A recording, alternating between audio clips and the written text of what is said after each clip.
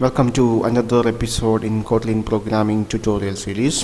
In this video we are going to create our first hello world Kotlin program using IntelliJ IDE.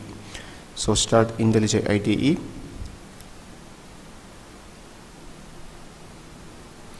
Uh, create a new project. So from here uh, select Java and select Kotlin and click next. Here you have to specify the project name. Here I name it as hello world app. And I change the project location into E drive.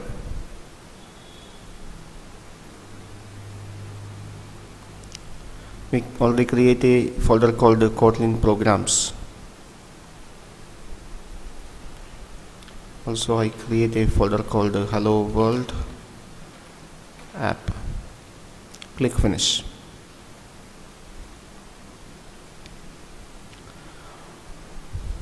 So now the project is created in IntelliJ IDE click project. So now we are going to create a hello world program in this project. So extends the hello world app folder. You can see an src folder. Right click the src folder create a new Kotlin file. I name it as hello world and click OK. So here we create a Kotlin file called hello world.kt. So now we can create the main function. So simply type main. So here the IDE shows some suggestions. So simply click enter button. So it will create the main function for us. So I will change the font size, open settings, open editor open font.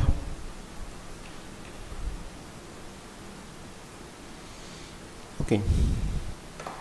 So inside the main function I'm going to print some hello world message print ln and type the message. Hello from Kotlin